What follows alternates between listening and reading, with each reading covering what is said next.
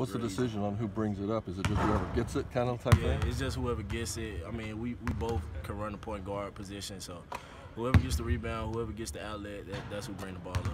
Is it kind of nice to have someone else there to do that so it takes a little bit of pressure off of you doing it every possession? Yeah, definitely. Um, with him being at the point guard position, I can uh, sit on the wing and kind of uh, not take plays off, but kind of get my rest on the offensive end so I can uh, have more energy on the defensive end.